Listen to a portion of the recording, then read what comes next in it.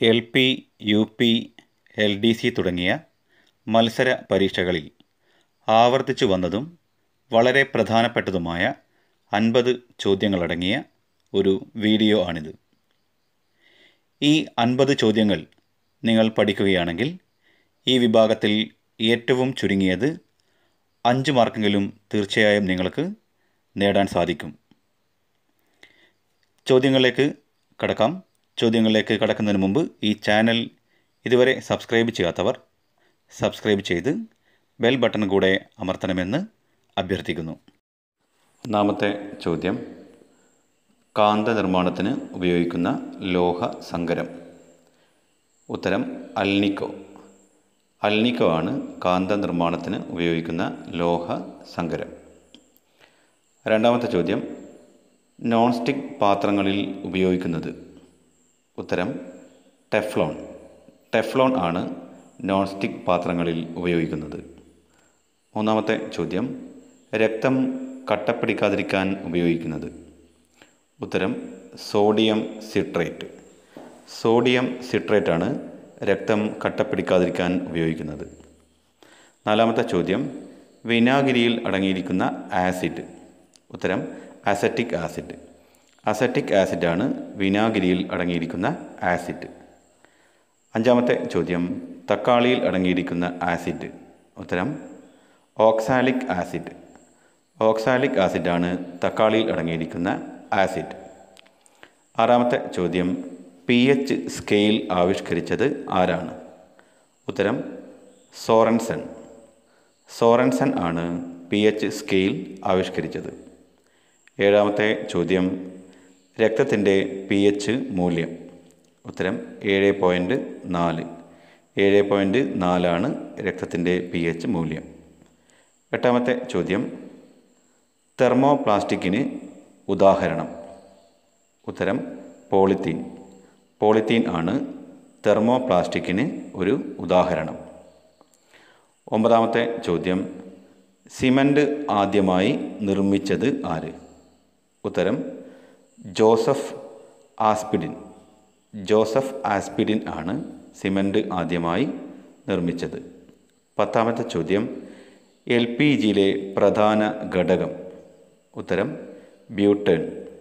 ബ്യൂട്ടേൺ ആണ് L P ജിയിലെ പ്രധാന ഘടകം. പതിനൊന്നാമത്തെ ചോദ്യം എൽ പി ജിയുടെ ഗന്ധത്തിന് കാരണം. Ethyl mercaptan. ഈഥെയിൽ മെർക്യാപ്റ്റൻ ആണ് എൽ പി ജിയുടെ ഗന്ധത്തിന് കാരണം. പന്ത്രണ്ടാമത്തെ ചോദ്യം ആദ്യത്തെ കൃത്രിമ പഞ്ചസാര. ഉത്തരം സാക്കറിൻ. സാക്കറിൻ ആണ് ആദ്യത്തെ കൃത്രിമ പഞ്ചസാര. പതിമൂന്നാമത്തെ ചോദ്യം ആദ്യമായി കണ്ടുപിടിച്ച ആന്റിബയോട്ടിക് ഉത്തരം പെൻസിലിൻ. പെൻസിലിൻ ആണ് ആദ്യമായി കണ്ടുപിടിച്ച ആന്റിബയോട്ടിക് പതിനാലാമത്തെ ചോദ്യം. സ്വാഭാവിക റേഡിയോ ആക്ടിവിറ്റി കണ്ടെത്തിയത്. ഉത്തരം ഹെൻറി ബെക്കറേൽ. ഹെൻറി ബെക്കറേൽ ആണ് സ്വാഭാവിക റേഡിയോ ആക്ടിവിറ്റി കണ്ടെത്തിയത്. പതിനഞ്ചാമത്തെ ചോദ്യം. പോസിറ്റീവ് ചാർജുള്ള റേഡിയോ ആക്റ്റീവ് വികരണം. ഉത്തരം ആൽഫ കണം. ആൽഫ കണം ആണ് പോസിറ്റീവ് ചാർജുള്ള റേഡിയോ ആക്റ്റീവ് വികരണം. പതിനാറാമത്തെ ചോദ്യം. ഏറ്റവും സാന്ദ്രത കൂടിയ മൂലകം. ഉത്തരം ഓസ്മിയം. ഓസ്മിയം ആണ് ഏറ്റവും സാന്ദ്രത കൂടിയ മൂലകം. പതിനേഴാമത്തെ ചോദ്യം. കൃത്രിമമായി നിർമ്മിച്ച ആദ്യ മൂലകം. ഉത്തരം ടെക്നീഷ്യ. ടെക്നീഷ്യം ആണ് കൃത്രിമമായി നിർമ്മിച്ച ആദ്യ മൂലകം.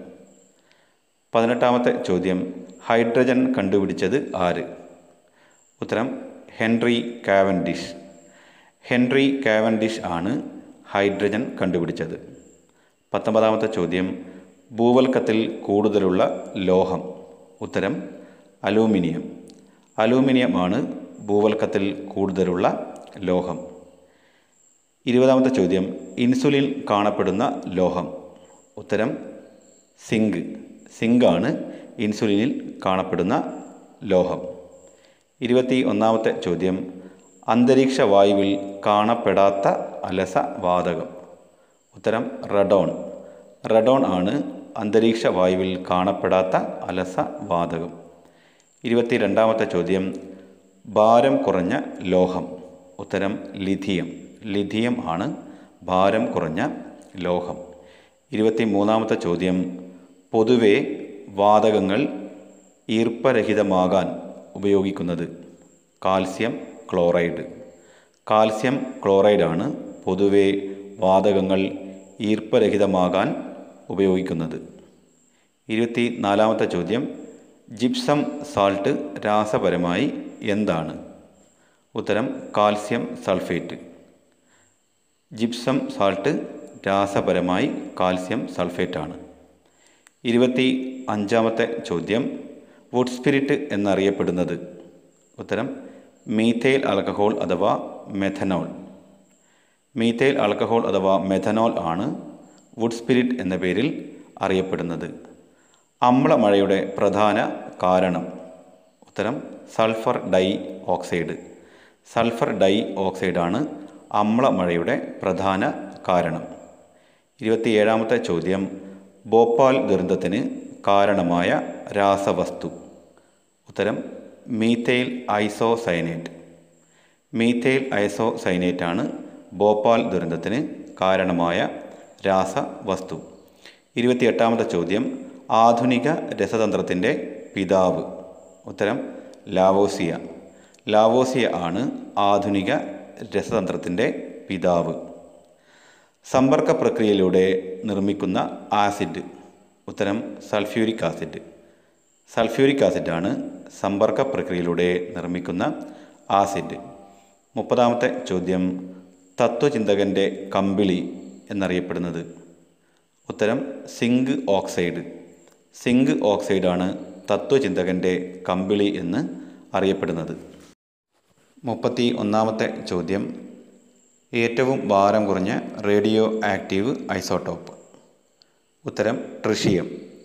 ട്രിഷിയം ആണ് ഏറ്റവും ഭാരം കുറഞ്ഞ റേഡിയോ ആക്റ്റീവ് ഐസോട്ടോപ്പ് മുപ്പത്തിരണ്ടാമത്തെ ചോദ്യം.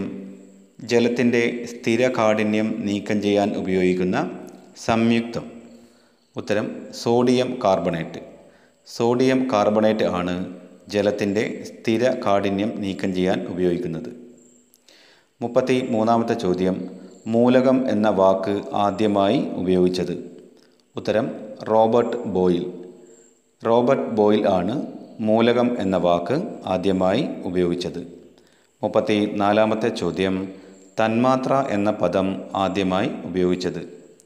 ഉത്തരം അവഗാഡ്രോ അവഗാഡ്രോ ആണ് തന്മാത്ര എന്ന പദം ആദ്യമായി ഉപയോഗിച്ചത്. മുപ്പത്തി അഞ്ചാമത്തെ ചോദ്യം മൂലകത്തിന്റെ ഐഡന്റിറ്റി കാർഡ് എന്നറിയപ്പെടുന്നത്. ഉത്തരം പ്രോട്ടോൺ. പ്രോട്ടോൺ ആണ് മൂലകത്തിന്റെ ഐഡന്റിറ്റി കാർഡ് എന്നറിയപ്പെടുന്നത്. മുപ്പത്തി ആറാമത്തെ ചോദ്യം. ന്യൂട്രോണുകളുടെ എണ്ണം തുല്യമായ ആറ്റങ്ങൾ ആണ്. ഉത്തരം ഐസോട്ടോൺ. ന്യൂട്രോണുകളുടെ എണ്ണം തുല്യമായ ആറ്റങ്ങൾ ആണ് ഐസോട്ടോൺ. മുപ്പത്തേഴാമത്തെ ചോദ്യം. ഏറ്റവും വലിയ ആറ്റം. ഉത്തരം ഫ്രാൻസിയം. ഫ്രാൻസിയം ആണ് ഏറ്റവും വലിയ ആറ്റം. മുപ്പത്തെട്ടാമത്തെ ചോദ്യം ആധുനിക ആവർത്തന പട്ടികയുടെ പിതാവ്. ഉത്തരം ഹെൻറി മോസ്ലി. ഹെൻറി മോസ്ലിയാണ് ആധുനിക ആവർത്തന പട്ടികയുടെ പിതാവ്. മുപ്പത്തി ഒമ്പതാമത്തെ ചോദ്യം ദ്രവണാംഗം ഏറ്റവും കൂടിയ മൂലകം. ഉത്തരം കാർബൺ. ദ്രവണാംഗം ഏറ്റവും കൂടിയ മൂലകം കാർബൺ. നാൽപ്പതാമത്തെ ചോദ്യം. മാലിയബിലിറ്റി ഏറ്റവും കൂടുതലുള്ള ലോഹം. ഉത്തരം സ്വർണം. സ്വർണമാണ് മാലിയബിലിറ്റി ഏറ്റവും കൂടുതലുള്ള ലോഹം. നാൽപ്പത്തി ഒന്നാമത്തെ ചോദ്യം. ഭാരം കുറഞ്ഞ ലോഹം. ഉത്തരം ലിഥിയം. ലിഥിയം ആണ് ഭാരം കുറഞ്ഞ ലോഹം. നാൽപ്പത്തി രണ്ടാമത്തെ ചോദ്യം. അമോണിയ നിർമ്മിക്കുന്ന പ്രക്രിയ. ഉത്തരം ഹേബർ പ്രക്രിയ. ഹേബർ പ്രക്രിയയാണ് അമോണിയ നിർമ്മിക്കുന്ന പ്രക്രിയ അറിയപ്പെടുന്ന പേര്. നാൽപ്പത്തി മൂന്നാമത്തെ ചോദ്യം. ഫോട്ടോഗ്രാഫിയിൽ ഉപയോഗിക്കുന്ന രാസവസ്തു. ഉത്തരം സിൽവർ ബ്രോമൈഡ്. സിൽവർ ബ്രോമൈഡാണ് ഫോട്ടോഗ്രാഫിയിൽ ഉപയോഗിക്കുന്ന രാസവസ്തു. നാൽപ്പത്തി നാലാമത്തെ ചോദ്യം പ്രോട്ടോൺ കണ്ടുപിടിച്ചത് ആരാണ്? ഉത്തരം റൂദർ ഫോർഡ് റൂദർ ഫോർഡാണ് പ്രോട്ടോൺ കണ്ടുപിടിച്ചത്. നാൽപ്പത്തി അഞ്ചാമത്തെ ചോദ്യം ഏറ്റവും വലിയ ആറ്റം. ഉത്തരം ഫ്രാൻസിയം. ഫ്രാൻസിയം ആണ് ഏറ്റവും വലിയ ആറ്റം. നാൽപ്പത്തി ആറാമത്തെ ചോദ്യം അഷ്ടക നിയമം ആവിഷ്കരിച്ചത് ആരാണ്? ഉത്തരം ന്യൂലാൻഡിൽ. അഷ്ടക നിയമം ആവിഷ്കരിച്ചത് ആരാണ്? ഉത്തരം ന്യൂലാൻഡ്സ്. നാൽപ്പത്തി ഏഴാമത്തെ ചോദ്യം. ഇലക്ട്രോ നെഗറ്റിവിറ്റി സ്കെയിൽ കണ്ടുപിടിച്ചത്. ഉത്തരം ലിനസ് പോളിംഗ്. ലിനസ് പോളിംഗ് ആണ് ഇലക്ട്രോ നെഗറ്റിവിറ്റി സ്കെയിൽ കണ്ടുപിടിച്ചത്.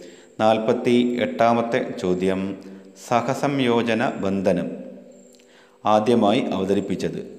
ഉത്തരം Gilbert N. Lewis. Gilbert N. ലെവിസാണ് സഹസംയോജക ബന്ധനം ആദ്യമായി അവതരിപ്പിച്ചത്. നാൽപ്പത്തൊമ്പതാമത്തെ ചോദ്യം ആറ്റോമിക് ക്ലോക്കിൽ ഉപയോഗിക്കുന്ന മൂലകം C C M.